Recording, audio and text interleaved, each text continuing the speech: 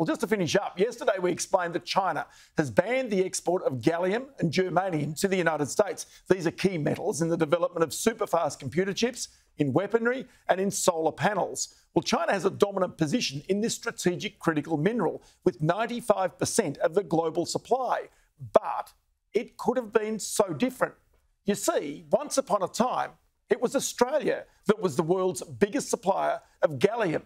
The metal, it's unusual. It has a melting point of around 27 degrees Celsius. It's not found in typical mineral deposits. Most of it is produced as a byproduct when turning bauxite into alumina.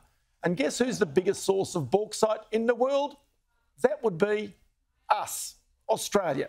Back in the late 1980s, as bauxite was booming in Queensland and especially in WA, a French government controlled company set up the world's biggest gallium plant alongside Alcoa's alumina facility at Pinjarra, around 120 k's south of Perth. It ran into problems with the market, but especially with the WA Environmental Protection Authority, unhappy with the long term storage of the waste, some of which is radioactive. So, just a couple of years ago, after it got going, the gallium plant there was shut down. It's still there. It's still shut down. It's sat there ever since. Every now and again, there's been an idea to try and get it up and going again, but that's a big ask after more than 30 years. The last big idea for that site was a couple of years ago when it was suggested it should be used as a mega base for the WA Rural Fire Service.